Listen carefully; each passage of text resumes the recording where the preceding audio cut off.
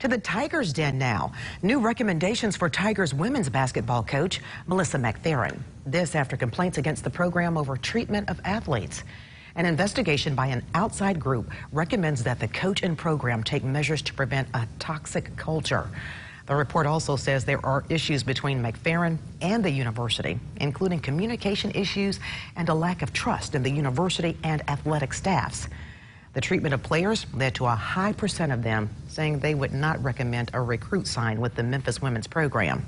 Since 2014, at least 14 different players left the team before completing their eligibility. McFerrin is entering her 12th season as the women's basketball coach.